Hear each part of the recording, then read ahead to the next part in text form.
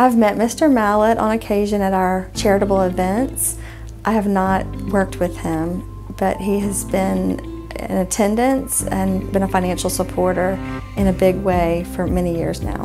When we have our fundraisers, they directly affect our uh, families that we serve here by um, helping offset the cost of therapy for their children. This therapy can be quite expensive because when you have a child with autism, they require a lot of therapy. And his charitable contribution has allowed um, families that couldn't otherwise afford this therapy receive scholarships and grants. Mr. Mallett is a presenting sponsor for our event this weekend, Seersucker in a Solitaire, where we will be giving away a one carat diamond.